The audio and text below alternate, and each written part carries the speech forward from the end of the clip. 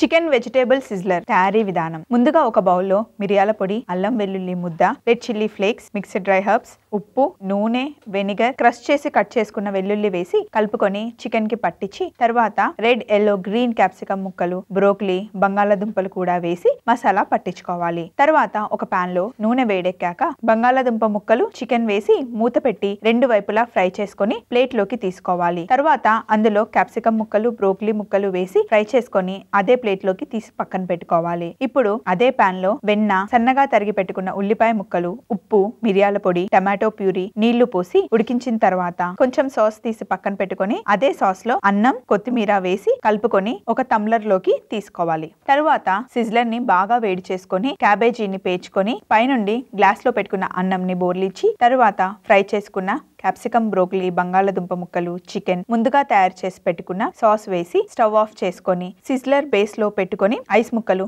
Butter వేసుకుంటే sizzler ready అవుతుంది. Okay అండి. చూసారుగా మా వీడియో? మీకు నచ్చినట్లయితే మీ ఫ్రెండ్స్కి షేర్ చేయండి. లైక్ చేయండి. మా వీడియోని సబ్స్క్రైబ్ చేసుకోవడం మర్చిపోకండి.